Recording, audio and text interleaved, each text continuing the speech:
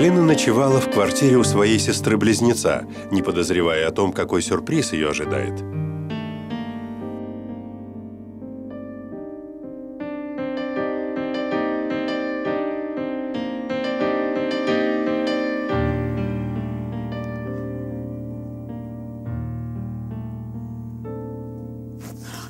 Ой, мамочки, кто это?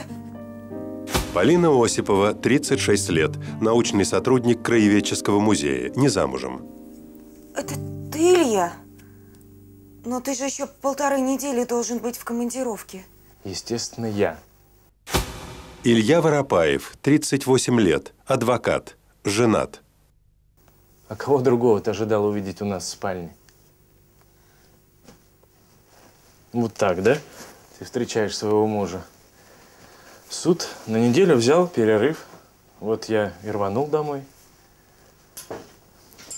Иди ко мне, я соскучился. А, кстати, э, как суд? Э, Что там было, о чем говорили? Тебя вот именно это сейчас действительно интересует, да? Да что с тобой? Уж в чем ты мне никогда не отказывал, так это в супружеских радостях. Ты нарочно меня злишь, да? Иди сюда. Ну, не, сегодня, не сейчас. А помнишь, что ты до свадьбы говорила? Что ты не будешь работать, а будешь все время дома, что семья для тебя важнее, что дома я получу и уют, и ласку. И вот теперь ты днями сидишь дома, а до меня тебе нет никакого дела. Мы совсем стали чужими. Прости, я просто неважно себя чувствую. Да ты все время себя неважно чувствуешь. Чувствую, нам надо развестись, тогда и проблем вообще никаких.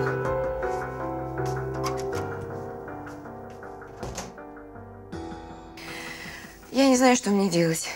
Муж неожиданно вернулся из командировки и, э, можно сказать, требует исполнения супружеского долга.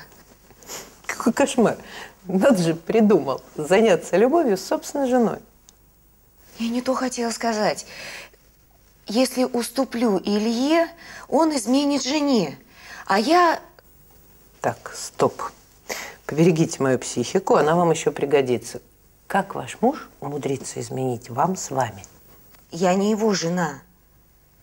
Илья женат на моей сестре Лере, мы близняшки. А я временно исполняю ее роль. Три дня назад Лера позвонила мне и попросила срочно взять отпуск и приехать. Я испугалась, что с ней что-то случилось и примчалась. Но все было в ее стиле, как в шпионском романе.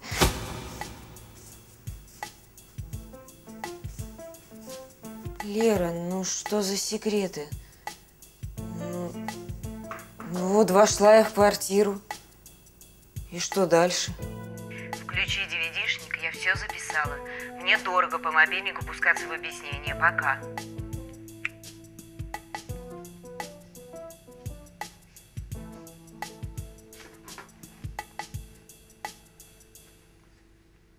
Привет, сестричка. Валерия Воропаева, 36 лет, домохозяйка, сестра-близнец Полины. Я специально сделала эту запись, чтобы ты видела, как я сейчас выгляжу. У меня к тебе просьба. Ты должна побыть мною неделю. Так и вижу, как ты садишься на диван и промахиваешься. Ты всегда была неуклюжей. Итак, блокнот с подробными инструкциями ты найдешь в спальне. Ну и вот этот паричок я тебе оставляю. И шмотки свои. Не бойся. Илья еще две недели в командировке, так что супружеский долг исполнять тебе не придется. Ничего не понимаю, зачем все это? Ты же знаешь мать Ильи? Она вечно меня в чем-то подозревает. Ты должна для нее сделать вид, будто я, скучающая в одиночестве жена, ждущая мужа из командировки. Поняла? В детстве мы с сестрой часто разыгрывали людей, меняясь местами. Ну, в основном я за Лерку экзамены сдавала. Лера тоже один раз изображала меня, но это было давно, я не хочу вспоминать. Но Лерка же сказала, что он не приедет, а он приехал и требует исполнения супружеского долга. Слушайте, а может быть именно это поручение сестры вам было особенно приятно выполнять, потому вы согласились? Когда Лера вышла замуж, я уехала из города. Мне было тут невыносимо. Когда я вошла в квартиру, увидела ее одежду, ее украшения, ее туфли. Мне захотелось стать ею, пусть на неделю. Полина, а чем ее жизнь так лучше вашей? Я любила Илью. Я первая с ним познакомилась. И у нас все было хорошо. А однажды подстроила так, что на свидание с ним вместо меня пошла она. А Илья, когда узнал, кто был с ним, сделал предложение Лере. Лера всегда производила впечатление на мужчин. Я тогда поняла, что он не любил меня и уехала. Но сейчас я не хочу спать с ним. Тогда зачем вы продолжаете этот маскарад? Если вы по-прежнему готовы помогать во всем этом сестре, ну, тогда придется идти до конца. А если вы не хотите спать с Ильей, тогда придется ему обо всем рассказывать. Что еще можно сделать-то?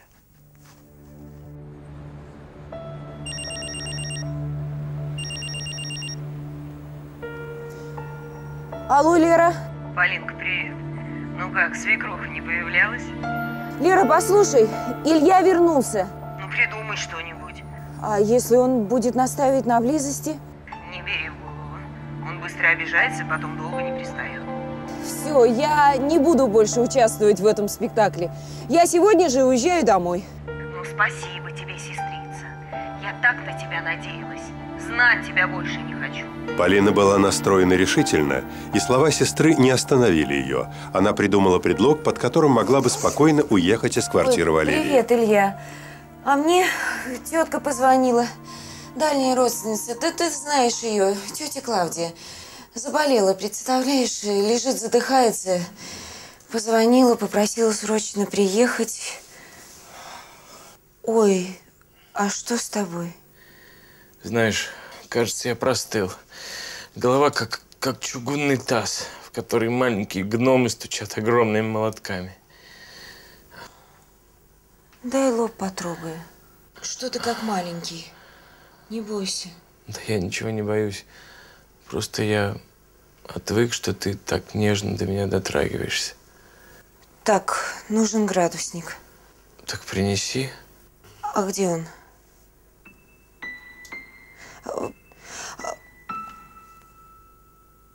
Так, у тебя точно температура.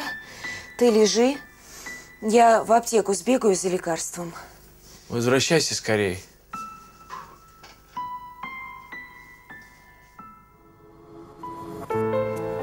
Полина понимала, что из-за болезни Ильи ей придется задержаться в доме сестры. Да, Лера? Полиночка, солнышко, ты же всегда меня выручала. Ты очень нужна мне дома. Но еще пару дней. Я совсем скоро вернусь. Ну побудь ты мной. Я и так собиралась остаться. Илья сильно заболел. Да? И что с ним? Простыл. Сильно заболел. Умеешь ты пугать. Все равно за ним уход требуется. В общем, я остаюсь. Спасибо, сестренка! Не за что, пока. На, выпей грудной сбор. Опять. Я не хочу, он невкусный. Что значит хочу, не хочу? Надо.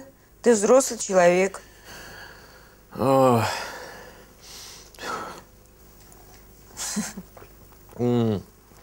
Почему все лекарства такие противные, а? Ну вот и молодец. Лер, а, давай как раньше, а? Посидим, посмотрим хорошее кино. м? Какое кино? Ну, не знаю. Ты выбирай. А тогда комедию. Хорошую, старую, добрую комедию. Давай.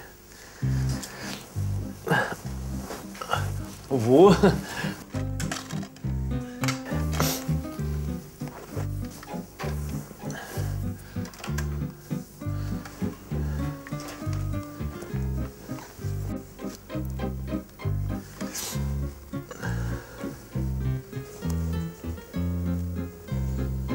Тебе уже лучше? Намного.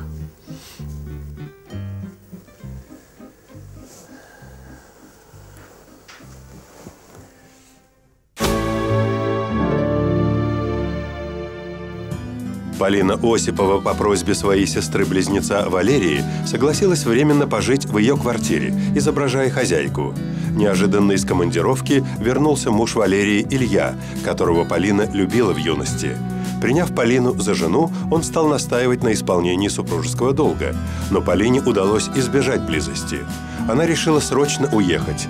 Неожиданно Илья заболел. Полина вынуждена была остаться и ухаживать за ним. Ты с утра вся в делах. Сейчас будешь завтракать. Чай с вареньем, и я блинчики испекла. Я тебя не узнаю. Хозяйственный, как никогда. Такого рвения в тебя я не подозревал. Ласковая и заботливая. А что, что-то не так? Наоборот, я в восторге от перемен в тебе. Надо чаще болеть.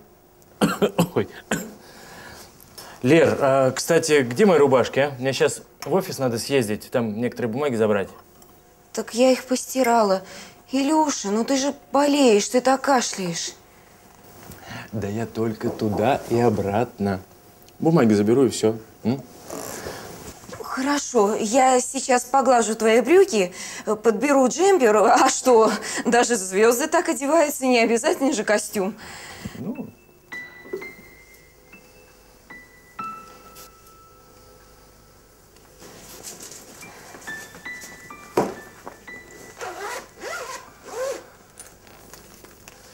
Жаль, что мне нужно уезжать. Но я скоро вернусь. Да-да, я буду тебя ждать.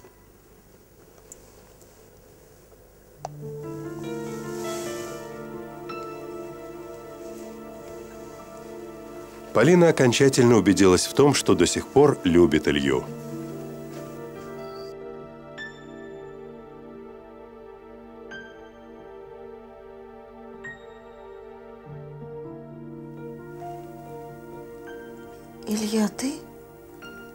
Ты же в гостиной собирался спать, пока болеешь. Милая, ты, ты так переменилась. Ты стала нежнее, ласковее, заботливее. Знаешь, я мог бы даже сказать, что не узнаю тебя. Не смейся. Именно такой я хотел бы видеть тебя всегда. Ты бы поспал еще. Тебе же на работу. Уже утро. Нет смысла даже и пытаться уснуть. А, я посмотрю, который час и приготовлю завтрак. Куда? Постой. Не уходи, я соскучился. Илья, приняв меня за жену, настоял на близости. Ну, значит, ваша сестра будет довольна. Вы ведь этого хотели? Я люблю Илью. У них с Лерой все плохо, она не любит его. Я догадалась, почему она вышла за него замуж. Он уже тогда подавал надежды, и она поняла, что он сможет ее обеспечивать. А я могу получить хоть кусочек своего счастья? Ну, конечно, можете. Только вопрос, а ваше ли это счастье? Вот интересно, с кем Илья-то спит? Со своей женой или с вами? А я недавно говорила о нем с Лерой. Лера не любит Илью, а я все бы отдала за него. Но я не знаю, что он предпримет, если узнает, что я была с ним в роли его жены. Он так рад переменам, просто счастлив. Все время делает мне комплименты. Ну, если вам с сестрой так нравятся розыгрыши, то ведь так можно продолжать забавляться хоть всю жизнь. Вы будете отдавать Лере деньги, которые будет приносить вам Илья, а сами будете изображать его жену. Я полагаю, вы шутите? Не совсем. Я просто предлагаю вам подумать, на каких условиях вы действительно хотите быть с Ильей. На следующий день Полина решила во всем признаться Илье. Ты уже дома? Да, надоело на работе торчать. Отпросился и сразу домой.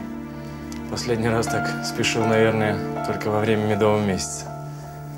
Ой, какой нетерпеливый. Дай хоть верхнюю одежду снять. А обед? У меня же все готово. Я не хочу есть, я хочу одного, и ты знаешь чего.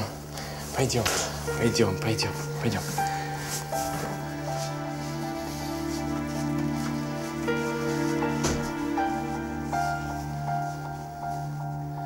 Погоди, я должна тебе кое в чем признаться. В чем? Я так люблю тебя. Ты давно не говорил таких слов.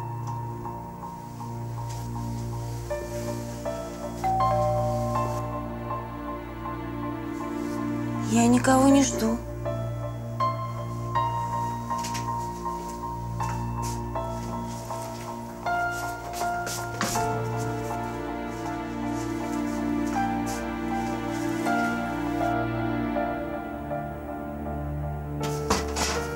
Илья, привет. Я заходила к тебе на работу, мне сказали, что ты отпросился. Я только что была на страничке у Алки Петрова, помнишь ее, да?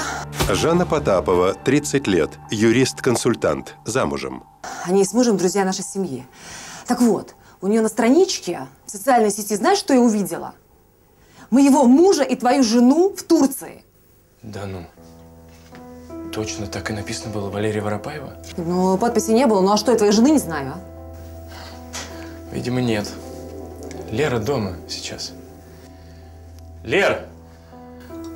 Твоя подруга подозревает тебя в измене. Привет. А, ты, ты дома? А, а давно? А, а, где, а где же мой кабель тогда, а? Понятия не имею. Да я и в Турции никогда не была. Я не понимаю, что за игры. Ты была на фотографии вместе с моим мужем. Извините, ты меня с кем-то путаешь. Кажется, я все понял. Лер, а твоя сестра не может сейчас отдыхать в Турции? а? Позвони ей. Вот еще. Я с ней несколько лет уже не общаюсь. Жанка, ты не обижайся. Кажется, твой Мишка с какой-то другой женщиной. Понимаешь, у Леры есть сестра-близнец. И она живет сейчас в другом городе. И убей меня, не могу понять, как она могла познакомиться с твоим Мишкой. Кабеля. Вот кабель. Ну, везде себе найдет. Как же он мне надоел. Все, бросить его и забыть. Я пошла, пока я буду ему звонить.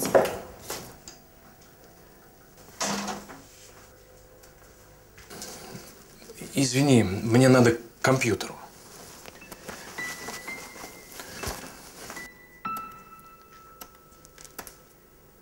Да, это точно она. Кто? Твоя сестра. Да, точно она. Узнаю ее. Как она счастлива с чужим мужем. Ее я когда-то любил. Пойду прилягу. Голова что-то сильно разболелась. Кстати, приготовь мою дорожную сумку, я завтра уезжаю. Слушания возобновляются. Опять командировка? Надолго? Нет, надеюсь, что на неделю, не больше.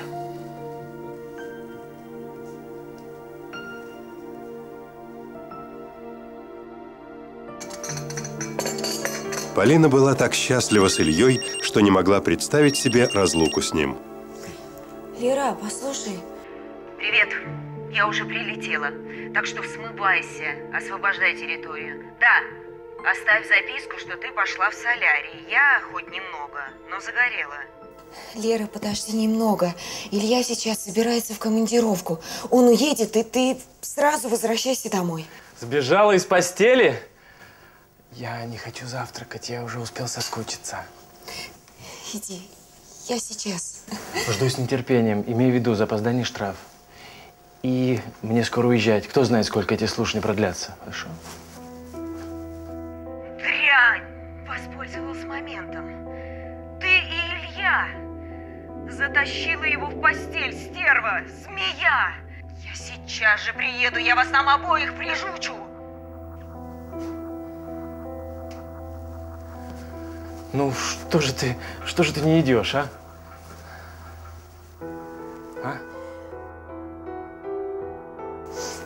Илья, подожди! За что? Ты сделал мне больно. Я когда? Я просила отстать. Ты вывернул мне руку. Да что с тобой? У меня что-то с головой, мне надо на воздух. Прямо сейчас. Сумка с твоими вещами возле дивана. Хорошо, спасибо. Извини, если я был излишне груб с тобой.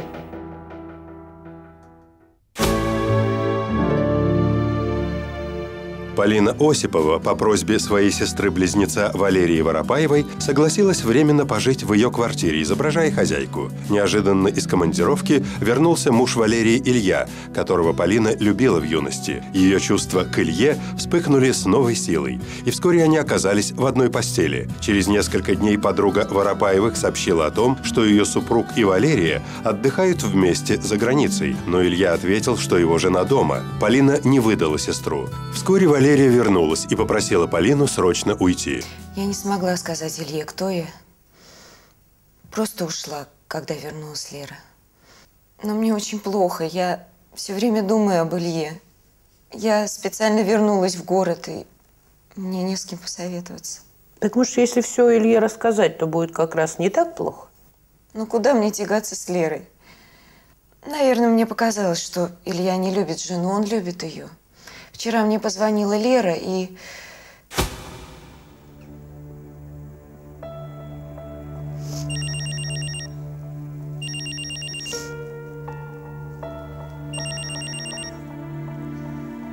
Алло. Привет, сестренка. Ну, как дела? Как жизнь? Хорошо. Вышла на работу.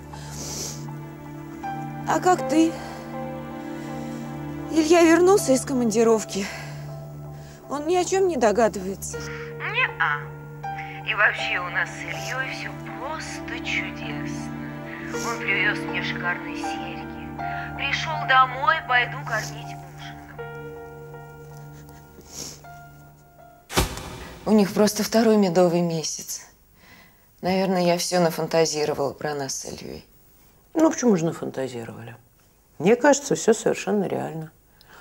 Ну, Илье очень понравилось, э, ну, скажем так, новое настроение его жены.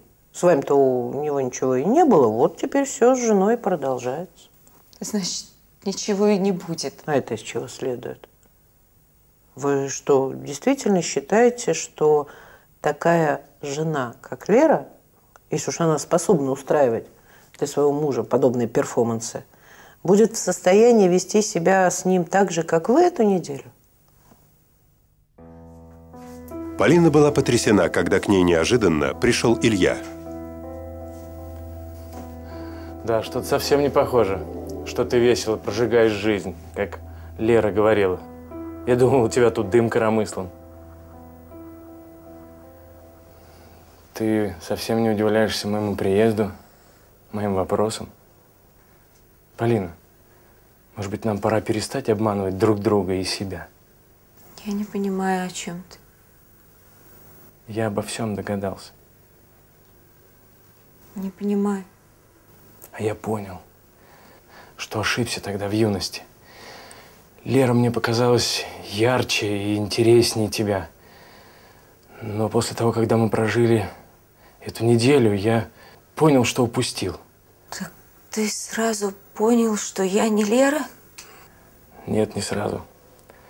Но на второй день был почти уверен. Так зачем же ты настаивал на близости?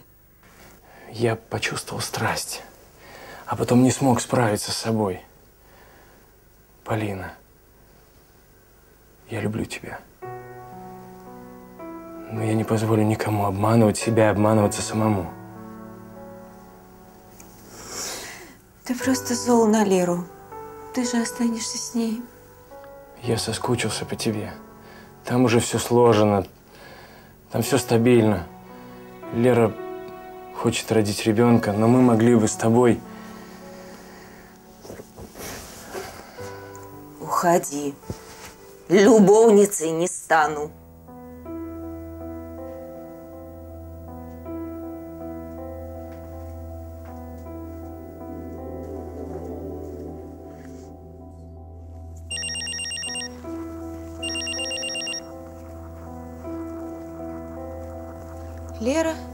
Сдала меня, Илье. Я тебе так отомщу. Мало не покажется. Какая же ты? Ну, я ни в чем не виновата, клянусь. Илья подал на развод и ушел из дома. Да ты что, правда? Ну, я ни в чем не виновата. Обрадовалась? Ненавижу.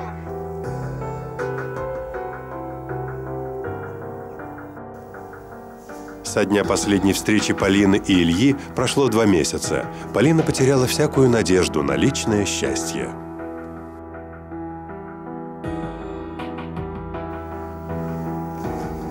Я... Я соскучился. Безумно. Ты должна поверить в мои чувства. Мы развелись. Не переживай за сестру, ее интересы не пострадали. И она давно уже начала охоту на нового мужа. А я... Я хочу быть с тобой. Именно с тобой, а не с какой-нибудь другой женщиной. Понимаешь? Да.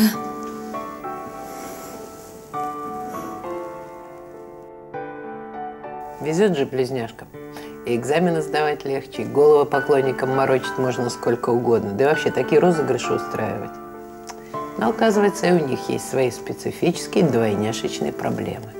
Как, например, у Полины из нашей истории. Угораздило ее в свое время влюбиться в человека, который потом стал мужем ее сестры. И даже когда спустя годы ей удалось на какое-то время занять место сестры, как ей было разобраться, кто она сейчас для этого человека? Его жена или всего-навсего ее сестра?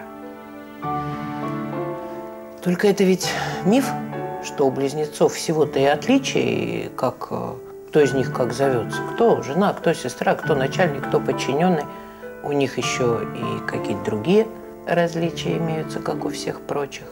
И хорошо будет не с тем, кто как-то называется, а с тем, с кем будет хорошо.